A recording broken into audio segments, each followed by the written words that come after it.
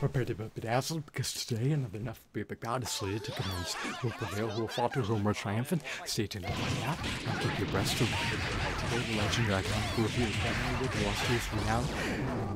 Gallant. Still with ponies are There's no but moniker of Green Arrow of the Green Arrow, render the ponies to deciduous carcasses and cadavers. The ponies feel damage of bundled wound mutilated, ravaged, brutalized, designated, subdued, and incapacitated by the Green Arrow.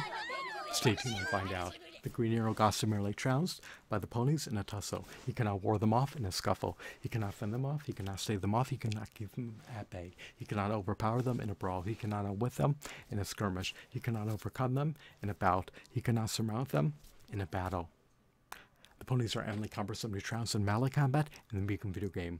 The ponies suddenly lose matches to opponents in the MUGEN video game. I hope that you are enthralled, bedazzled, regaled, captivated, mesmerized, amused, sworn, and fascinated. I hope that you're entrenched in the unalloyed epicness. Have a blissful day. Goodbye.